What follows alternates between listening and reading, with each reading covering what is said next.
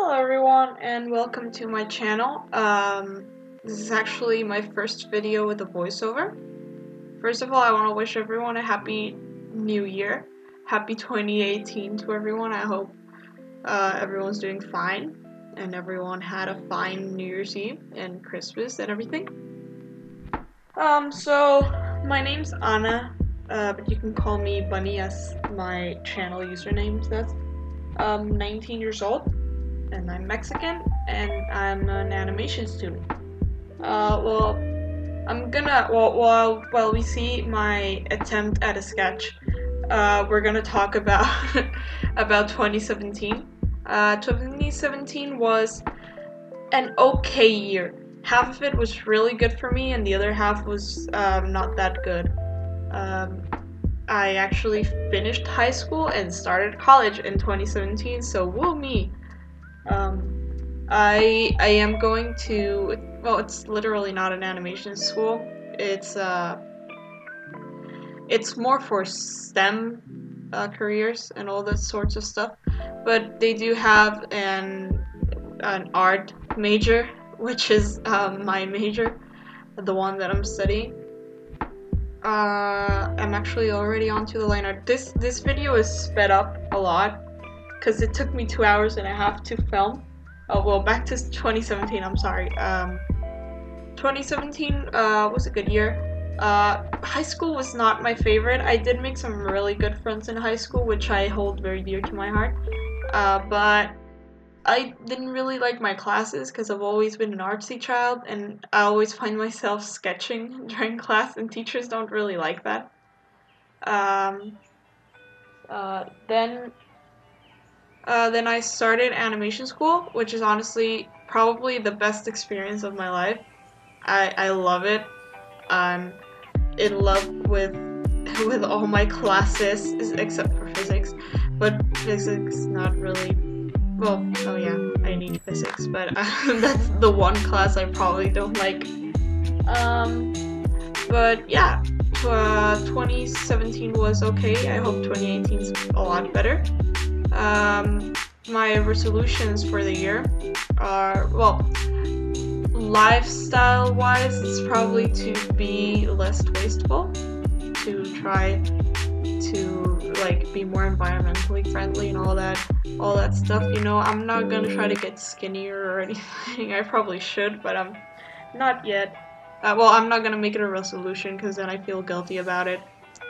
Um I hope in 2018 I can be more environmentally friendly and that I can, uh, art wise, I think I want to try to make better backgrounds because you're gonna see in this. I was trying to make it resemble the old image, but I'm, I'm, I'm not that good at backgrounds. Also making more dynamic poses, which of course I have uh, gotten a lot better at. Uh, let's go on and talk about the drawing actually. Uh, this is a remake from a really old drawing. Drawing I made in 2013 to welcome the new year in 2014. Wow, I am bad at layers.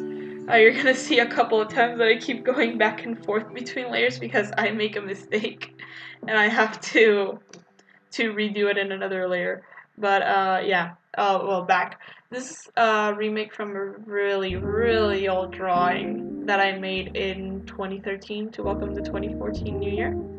And there's a lot of things uh, that could be better. Let's just leave it at that. Uh, first of all, I was really ashamed of having hazel eyes because my dad has green eyes and his eyes are really pretty and I always wanted green eyes so I was really ashamed of that my eyes were just tiny bit green instead of being all green like my dad's were so I wanted everyone in DeviantArt and Tumblr to think I had green eyes so I drew myself with green eyes but no, actually my eyes are hazel and I'm not ashamed of that anymore. Uh, the outfit choice. This is actually a real funny story. I used to always, I used to have a really good Batman sweatshirt, but um, I didn't want to use a Batman sweatshirt on all my like drawings, so I used to do this. This was also a characteristic drawing of me. Uh, a Batman t-shirt with a long sleeve uh, purple and blue striped shirt underneath, which honestly I did have. I didn't have the Batman t-shirt, but I did have the striped shirt. But it was a pajama shirt, so I'm not sure why I decided it would be a good idea to make it like my my staple. Um, but yeah, it was always like this outfit, red Converse. Like go back on my DeviantArt, every single drawing of me will be like that. And um, but yeah, I have definitely gotten better at a lot of things. I've gotten a lot better at drawing and like shading and all that stuff. Well, of course, at drawing, I do practice a lot. I've gotten better at coloring, I mean, and shading. Oh, this is actually one of the parts I've gotten better at, the hair. Uh, I I don't think you can see it very well on the thumbnail, but uh, the my my old way of drawing hair is really uh, amateur. I used to just do lines wherever wherever I wanted. I, I actually didn't even think about the placement of the lines. I didn't think about shine, anything. Nope. It was just lines. It was like drawing regular old hair. Uh, but now I have a style question mark, sorta. I, I really like the way I draw hair. It's probably one of the things that I like the most and that I've uh, I actually, there you can see I was trying to looking for a background that looked like the original, but I couldn't find any. So I was doing my own. Uh, another thing I've definitely gotten better, better at is at posing characters.